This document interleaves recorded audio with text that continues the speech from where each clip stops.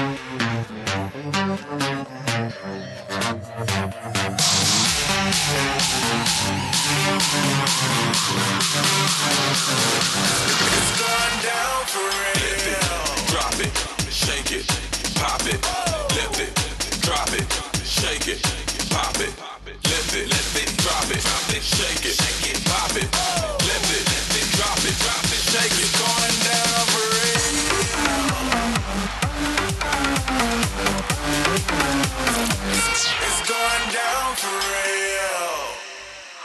Give it up for your 2024 Senior National Dance Team!